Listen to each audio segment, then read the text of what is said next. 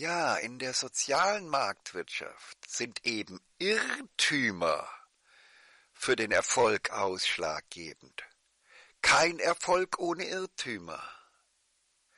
Ja, nur, sie, sie können nur erfolgreicher Arzt werden und richtig Geld verdienen, wenn sie den Irrtum mitbringen, dass all diese Vorstellungen von der Allmacht der Bakterien und Viren und so weiter, dass diese Irrtümer, dass das ausschlaggebend sei und eben nicht die Stärke des Immunsystems durch einen gesunden Lebensstil, eine gesunde Ernährung und so weiter ausschlaggebend sei, sondern eben, dass diese starken Bakterien ausschlaggebend seien äh, äh, und, und, und dann eben man gegen diese starken äh, äh, Bakterien, gegen mit dem starken Waffen der Antibiotika kämpfen muss und, und, und, und all das und der Impfungen kämpfen muss. Ja, wer solche Irrtümer schon als Jugendlicher mitbringt, der wird der ideale Medizinstudent und er macht dann die ideale Karriere als Arzt, weil der seine Irrtümer glaubt, weil der,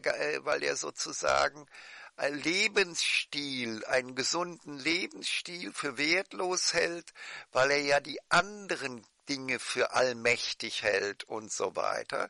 Und deswegen in der sozialen Marktwirtschaft, im Kapitalismus sind eben Irrtümer für den Erfolg ausschlaggebend. Kein Erfolg ohne Irrtümer. So viel zu diesem Thema.